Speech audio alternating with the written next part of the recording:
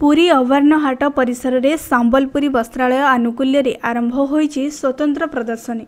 ରାଜ୍ୟ ହସ୍ତତନ୍ତ ହସ୍ତଶିଳ୍ପ ବୟନଶିଳ୍ପ ମନ୍ତ୍ରାଳୟ ସହଯୋଗରେ ଆୟୋଜିତ ଏହି ପ୍ରଦର୍ଶନୀକୁ ଅତିରିକ୍ତ ଜିଲ୍ଲାପାଳ କୈଳାସ ନାୟକ ଉଦ୍ଘାଟନ କରିଥିଲେ। ସମ୍ବଲପୁର ବସ୍ତ୍ରାଳୟର ମାର୍କେଟିଂ ଅଧିକାରୀ ହେମନ୍ତ ମିଶ୍ର ସୂଚନା ଓ ଲୋକସମ୍ପର୍କ ଅଧିକାରୀ ସନ୍ତୋଷ ସେଠୀ ପ୍ରମୁଖ କାର୍ଯ୍ୟକ୍ରମରେ ଉପସ୍ଥିତ ଥିଲେ। ଆସନ୍ତା ପନ୍ଦର ତାରିଖ ଯାଏଁ ଏହା ଚାଲିବ। ସମ୍ବଲପୁରୀ ଦିବସ ପାଳନ କରାଯାଇଥିବା ବେଳେ ସମ୍ବଲପୁରୀ ବସ୍ତ୍ରକୁ ନେଇ ଏହି ସ୍ୱତନ୍ତ୍ର ପ୍ରଦର୍ଶନୀ କରାଯାଇଛି। ସମଗ୍ର ରାଜ୍ୟ ଦେଶ ସମେତ ଦେଶ ବାହାରେ ମଧ୍ୟ ଦିନକୁ ଦିନ ସମ୍ବଲପୁରୀ ବସ୍ତ୍ରର ଚାହିଦା ବଢ଼ି ଚାଲିଛି। ଏଭଳି ସ୍ୱତନ୍ତ୍ର ପ୍ରଦର୍ଶନୀ ବୁଣାକାର ତଥା ବ୍ୟବସାୟୀଙ୍କୁ ବେଶ୍ ସାହାଯ୍ୟ କରିବ। ଆମର ଓଡ଼ିଶାର ବିଭିନ୍ନ କଳା ଭିତରେ ସମ୍ବଲପୁରୀ ବସ୍ତ୍ର ବହୁତ ବର୍ଷର ପୁରୁଣା।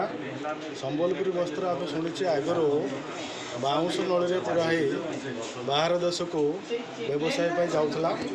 ସମ୍ବଲପୁରୀ ବସ୍ତ୍ର ବର୍ତ୍ତମାନ ସାରା ବିଶ୍ୱରେ ଚହଳ ପକାଇଛି ଆଉ ଏହାର ଏତେ ଚାହିଦା ବୃଦ୍ଧି ହେଇଛି ସେଥିରେ ଯାହା ଆମର ଆୟୋଜକମାନେ କହୁଛନ୍ତି ଚାହିଦା ତୁଳନାରେ ସେମାନେ ସପ୍ଲାଏ ମଧ୍ୟ କରିପାରୁନାହାନ୍ତି। ଆମେ ଏଠି ଗର୍ବିତ ଯେ ପୁରୀ ବିଶ୍ୱ ଐତିହ୍ୟ ସହରରେ ସମ୍ବଲପୁରୀ ବସ୍ତ୍ରାଳୟର ପ୍ରଦର୍ଶନୀ ଅନୁଷ୍ଠିତ ହେଉଛି। ଆମେ ସେଥିରେ ସମସ୍ତଙ୍କ ସହଯୋଗ ଆଉ ସମସ୍ତେ ଏଥିରେ ଆସି ଦେଖନ୍ତୁ କିଣନ୍ତୁ ସମ୍ବଲପୁରୀ କାରିଗରମାନଙ୍କୁ ପ୍ରୋତ୍ସାହନ ଧନ୍ୟବାଦ। ପୁରୀ ପେରୁ ସୌଭାଗ୍ୟ ପଟ୍ଟନାୟକଙ୍କ ରିପୋର୍ଟ ଇପିଏ ନ୍ୟୁଜ୍।